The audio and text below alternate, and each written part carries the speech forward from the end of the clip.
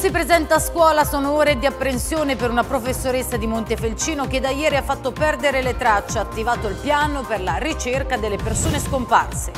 Maltempo nelle Marche, alberi e pali abbattuti dal vento, vigili del fuoco in azione in tutta la regione, allerta meteo anche per domani. Piove in classe alla prima ora, rimandati a casa 38 alunni della primaria del Poderino a Fano. Da domani lezioni nell'aula magna della scuola media Matteo Nuti la scuola non è agibile perché piove, cade l'intonaco, ci sono ecco, aule allagate, è veramente assurdo nel 2021, veramente assurdo. Soldi all'estero, scoperta una maxi frode da 21 milioni di euro, 1500 investitori truffati e 11 indagati, anche della provincia di Pesaro Urbino. Trasportavano in auto oltre mezzo chilo di cocaina, arrestate a Fano due donne napoletane.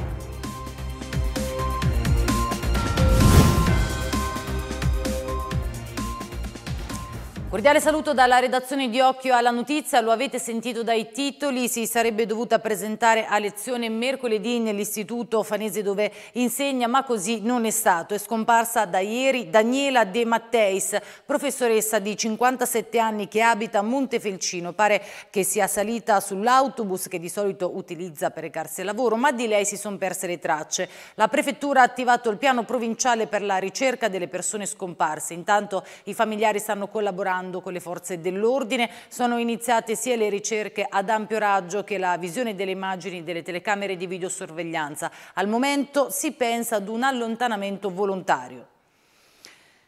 Tragedia oggi nel quartiere di Sant'Orso a Fano dove Mirko Bevilacqua, 67 anni, si è tolto la vita impiccandosi nella sua abitazione in via Marcello Malpighi. Per spiegare le motivazioni del gesto estremo l'uomo ha lasciato un biglietto nel quale parlerebbe di fallimento e che secondo gli investigatori avrebbe iniziato a scrivere ieri per poi concluderlo oggi prima del suicidio. Sul posto gli agenti del commissariato di Fano, i vigili del fuoco e il 118. E adesso parliamo del maltempo, le piogge e le forti raffiche di vento hanno provocato danni e disagi in tutta la regione decine gli interventi dei vigili del fuoco. Scuole chiuse, COC attivati e appelli dei sindaci a spostarsi solo se necessario. L'ondata di maltempo preannunciata dalla protezione civile si è abbattuta oggi sulle Marche, provocando numerosi danni e disagi. Già dopo l'allerta arancione emanata nella giornata di ieri, in molti comuni erano stati comunicati l'annullamento del mercato settimanale e la chiusura dei centri diurni per i disabili e delle scuole di ogni ordine e grado, comprese le strutture dell'infanzia, con l'obiettivo, come aveva spiegato il primo cittadino di Senigallia, di garantire quanto più possibile la sicurezza di tutta la popolazione e prevenire ogni situazione di pericolo. I vigili del fuoco sono stati impegnati su tutto il territorio regionale dalle prime ore di questa mattina. Già a mezzogiorno si contavano più di 40 interventi, di cui la metà nella provincia di Ancona. La fascia costiera, infatti, è stata quella con il maggior numero di richieste. In particolare, nella provincia di Pesaro Urbino, i pompieri hanno ricevuto in totale una quarantina di chiamate per sgombrare rami e alberi caduti in strada, mentre a Falconara Marittima hanno rimosso un grosso pannello pericolante dal tetto di un'abitazione. A Senigallia, invece, c'è stato un monitoraggio costante dei livelli del fiume e di tutti i fossi minori, con tanti interventi, soprattutto nelle frazioni per rimuovere il fango dalle strade. Anche a Fano si sono verificate delle criticità. In via 4 novembre e lungo via Fossa Sant'Orso alcuni alberi situati nelle abitazioni private sono caduti sulle carreggiate ed è stato necessario predisporre sensi unici alternati. Inoltre in alcune zone della città sono stati abbattuti dal vento i pali dell'illuminazione stradale, per fortuna senza conseguenze per le persone. Invece alla scuola elementare di Piazza Unità d'Italia è stato riscontrato un problema di infiltrazione d'acqua, mentre i sottopassi in zona mare, a Lido, a Torrette e a Metauriglia, non hanno registrato significativi livelli di allagamento. Vigili del fuoco in azione anche a Pesaro, dove sono state divelte dal vento diverse piante, come in Viale Trieste e in Viale Venezia. Anche per domani, venerdì 8 ottobre, è stata diramata un'allerta arancione per una parte delle Marche. Secondo il bollettino meteo della Protezione Civile, sono previste nella prima parte della giornata piogge continue diffuse più insistenti sul settore centro-meridionale della regione, fenomeni in esaurimento nel pomeriggio. E come avete sentito nel servizio anche gli edifici scolastici hanno dovuto fare i conti con il maltempo. A Fano gli studenti di due classi della scuola elementare del Poderino sono stati rimandati a casa. Sembra una roba assurda, eh, visto che già l'anno scorso tenevano dei secchi in classe perché quando pioveva appunto raccoglievano l'acqua con dei secchi, quindi nel 2021 eh, avere una scuola del genere, dei bambini che non possono fare lezione per la pioggia, voglio dire con tutti i problemi che abbiamo, eh, mi sembra abbastanza assurdo. Piove nelle aule dal soffitto e gli alunni sono stati rimandati a casa. È successo nella scuola primaria al Giardino dei Colori in piazza Unità d'Italia, al Poderino di Fano, 38 bambini della seconda B e seconda A questa mattina sono entrati nel plesso, ma poco dopo la situazione è degenerata a causa delle piogge e delle abbondanti infiltrazioni d'acqua. Diverse parti dell'intonaco si sono staccate e i pavimenti si sono allagati. Questa mattina alle otto e mezzo la rappresentante ha comunicato che le maestre stavano telefonando e dovevamo venire a prendere i bambini perché la scuola era inagibile. Sembra che, no sembra, ci hanno detto che la scuola all'interno era allagata, hanno cercato di asciugare all'interno ma non ci sono riusciti perché comunque la pioggia è tanta e quindi siamo dovuti venire a prendere i bambini perché non si riusciva a fare lezione.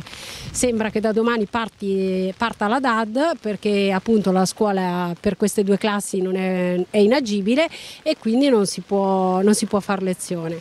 Pericoloso per loro ma adesso un disagio anche per le famiglie nel caso della DAD. Sì, sì, nel caso della DAD è un grosso disagio perché comunque lavoriamo tutti e quindi è un problema tenere i bambini in DAD, ma questo è un problema che l'abbiamo affrontato già l'anno scorso col, col coronavirus, eh, però appunto ripeto, non avendo l'emergenza del coronavirus dobbiamo avere un'emergenza pioggia, è un po' assurdo ed è, ed è cioè per noi genitori è molto impegnativo perché lavoriamo tutti insomma. Lei come è riuscita a organizzarsi questa mattina? Allora io ero appena arrivata al lavoro, quindi ho avuto eh, da Sonia la telefonata che dovevo venire a prendere perché alla maestra non sono riuscita a rispondere, ho dovuto chiamare i miei suoceri che anche loro al lavoro ma più vicini hanno dovuto chiudere e venire a prendere il bambino. Quindi nel caso in cui domani i ragazzi dovessero rimanere a casa? Mi dovrò organizzare io in qualche modo e rimanere a casa perché comunque loro con una certa età non riescono a fargli fare la DAD e stargli dietro come potrei fare io. Ecco, lei è la rappresentante per cui ha fatto un po' da spola tra scuola e, e genitori? Sì, sono la rappresentante della seconda B e quindi stamattina sono poi stata contattata dalla maestra e, e ho aiutato un po' la maestra nel chiamare tutti i vari genitori dei bambini per poterli venire a recuperare perché l'avviso era che i bambini stavano seduti nel corridoio perché le classi non erano agibili. Inoltre la maestra ci ha anche un po' avvisato che forse da domani c'è rischio DAD e questa cosa ecco, cioè, lascia sconcertati direi di più perché insomma abbiamo fatto la DAD tanta l'anno scorso a causa no, di tutta la situazione Covid, adesso dover fare la DAD perché la scuola non è agibile, perché piove, cade l'intonaco, ci sono ecco, aule allagate, è veramente assurdo nel 2021, veramente assurdo. Avete avuto modo di confrontarvi anche con la preside? Eh, allora, stamattina tutto questo è stata un po' un'emergenza. Io poi l'ho provata a contattare mentre cercavo di chiamare tutti i vari genitori, ho contattato anche la preside che però eh, penso ecco, per disposizioni Covid ci può ricevere soltanto dopo una mail. Eh, ho lasciato detto in segreteria perché mi sembrava corretto ecco, che eh, avendo anche allertato, insomma, Fano TV, avendo un po' allertato i vari rappresentanti anche delle altre classi, eh, eh, prima di fare tutto questo movimento. Purtroppo poi non sono riuscita a parlare con lei direttamente ma con una segretaria. E nel corso della mattinata poi la preside per fortuna non ha confermato la didattica a distanza.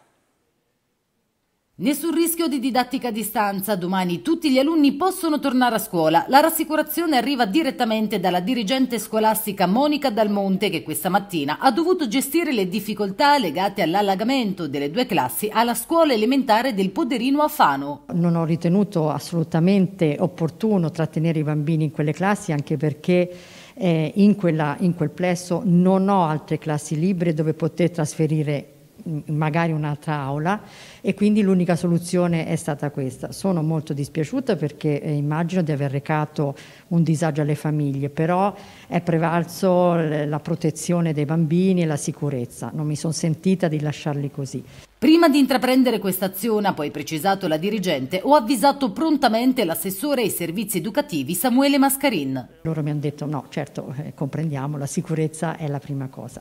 E, ehm, Volevo precisare che questo è un problema vecchio, cioè nel senso eh, è già da alcuni anni che segnaliamo questa problematica e eh, non ultimo io eh, già ad agosto, eh, il 21 agosto e poi il 20 settembre avevo di nuovo segnalato questa problematica per iscritto agli uffici competenti, quindi ai lavori pubblici, senza avere nessuna risposta. Quindi mh, purtroppo ho dovuto tamponare una situazione che era a conoscenza insomma, anche del Comune. Tra i genitori c'era una preoccupazione per un'eventuale didattica a distanza, sarà così? No, assolutamente perché proprio poco fa tecnici, sono intervenuti i tecnici del Comune che hanno eh, diciamo così, rimosso il problema che c'era sul tetto e quindi da domani le lezioni riprenderanno regolarmente.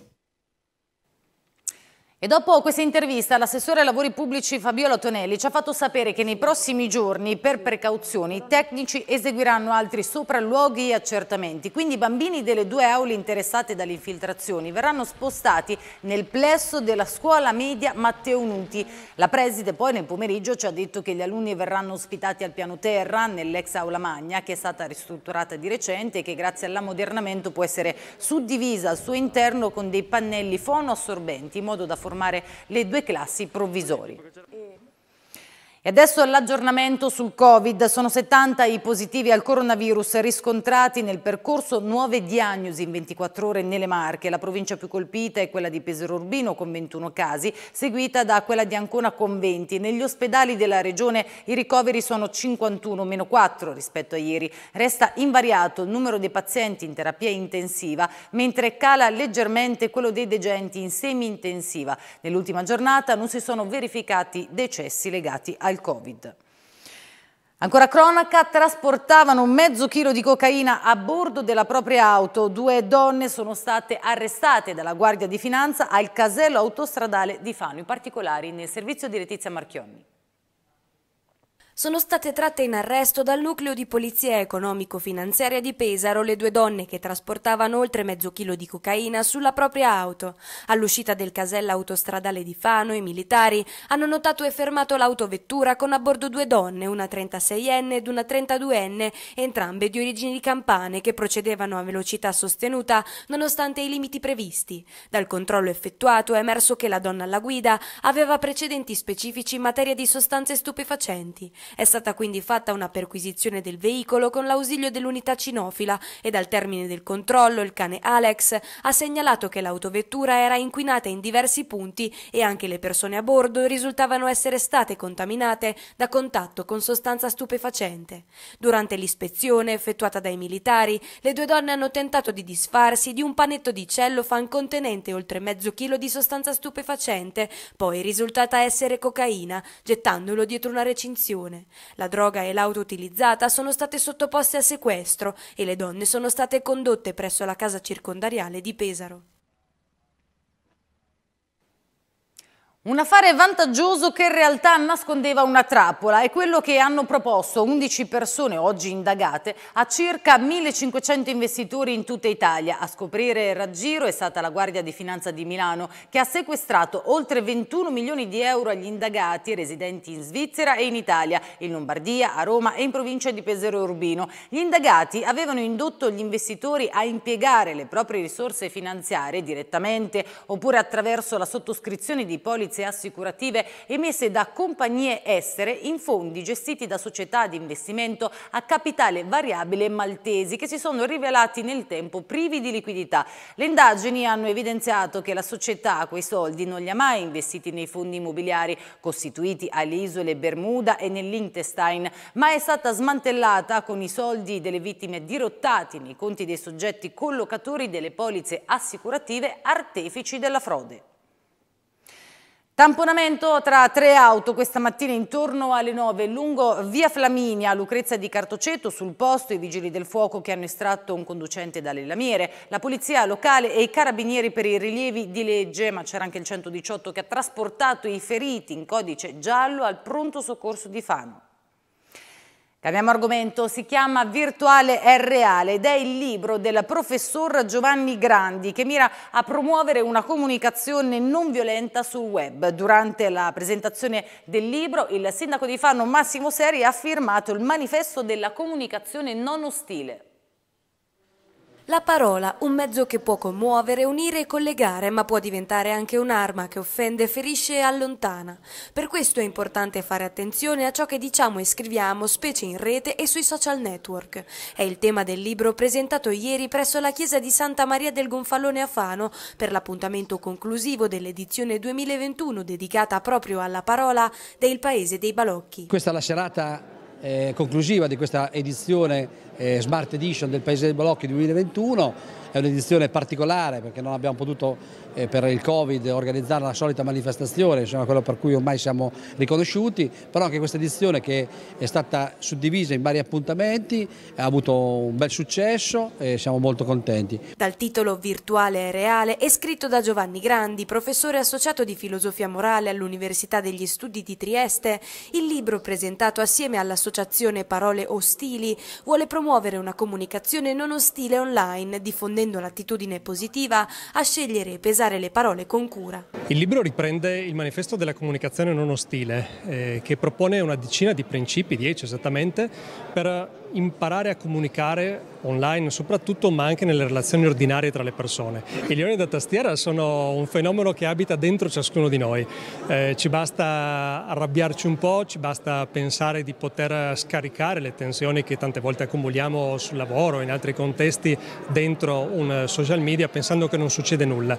In realtà è virtuale reale, eh, le piazze digitali sono analoghe alle piazze reali, quindi anche lì si colpiscono le persone e si infrangono le relazioni. Quindi in questo senso ecco, scoprire che un piccolo leone o un leoncino sta dentro ciascuno di noi è importante per non pensare che sono gli altri quelli che sbagliano, ma per cominciare a pensare che tutti noi possiamo modificare almeno un po' il nostro modo di comunicare, diventando forse più simili ai nostri gatti domestici, un po' più affettuosi, più capaci di coccolare e meno aggressivi. Lavorare su un concetto di non ostilità delle parole eh, serve in qualche modo ad educarci al digitale tutti assieme e a rendere questo tipo di ambiente un ambiente che riesce a mettere in relazione le persone trovando dire, gli elementi principali che fanno grande il fatto di stare in rete fra di noi e diminuendo ed abbassando il livello invece di inquinamento che gli ultimi anni hanno prodotto. È molto importante questa sinergia che ogni anno si ripete tra la città di Fano e il Festival del giornalismo culturale.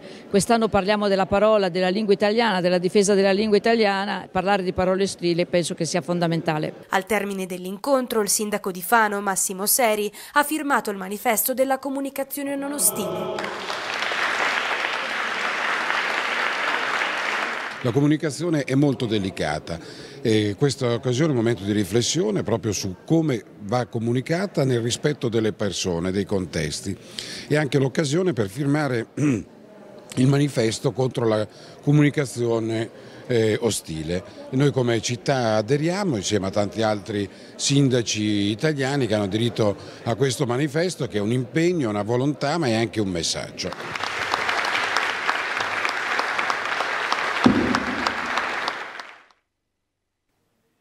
Tra poco trasmetteremo uno speciale dedicato alla presentazione del libro Ars Ingenium, Eccellenze ed Emozioni, scritto dal giornalista Maurizio Socci. L'iniziativa rientra nell'ambito della settimana dell'artigianato organizzata da Confartigianato Imprese di Ancone Pesaro Urbino e conduce Maria Elena Del Bianco. Invece quello che vedete tra poco in sovraimpressione, eccolo qua, è il numero di telefono dedicato alle vostre segnalazioni 338 4968 250. Grazie per aver seguito Occhi alla Notizia e arrivederci a domani.